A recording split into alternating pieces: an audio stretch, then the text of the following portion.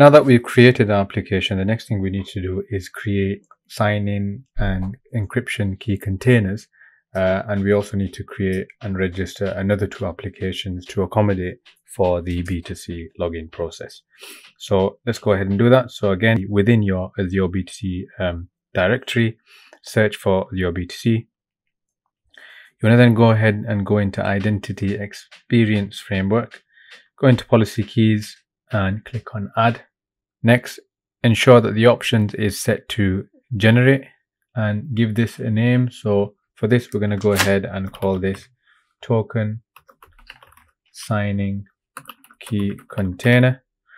And we're going to go ahead and ensure that the key type is RSA and the key usage for this purpose is signature. So go ahead and create that. Click on add again. And this time we are again uh, going to ensure that it's set to generate for the options. This name will be called token encryption key container. And again, set the key type to RSA, but this time we want to make the key usage set to encryption and go ahead and click create.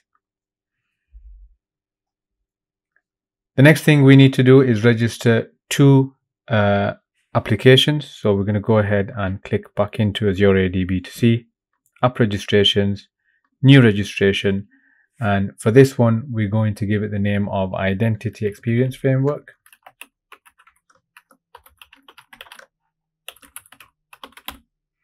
and we want to ensure that it's set to this directory only. And the next thing we want to do is we want to set the redirect URI, um, the pl platform to be type of web. Now, of course, here for me, this is apps365org.b2clogin.com. Uh, so you'll need to replace this with your Azure B2C tenant name. Uh, so it'll be your tenant name.b2clogin.com, your tenant name uh, go ahead and click register. So the next thing we want to do is we want to go ahead and click on expose an API. And in here, we want to add a new scope. You will have to set an application ID URI. So for this, I'm just going to go ahead and put identity experience framework. And then I'm going to save and continue. We then need to create a scope. Uh, and this scope will be user impersonation and we're going to go ahead and just give a brief uh, display name and description of what this will be go ahead and click add scope. We now need to register the proxy identity experience application.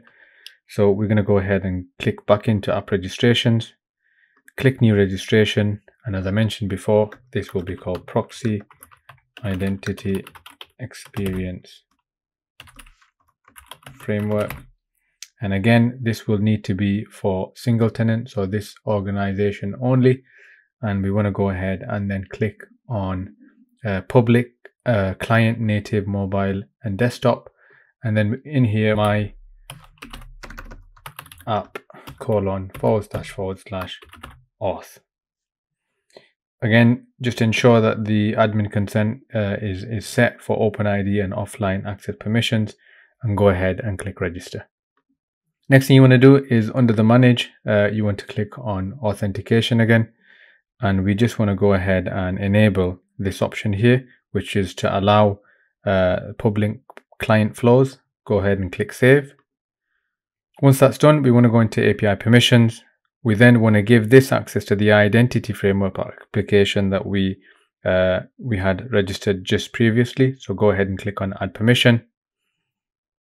APIs my organization uses and find the identity experience framework application. Give delegated permissions to the user impersonation and go ahead and click add permissions. And then we want to uh, grant admin consent for this organization for this permission. Go ahead and click yes.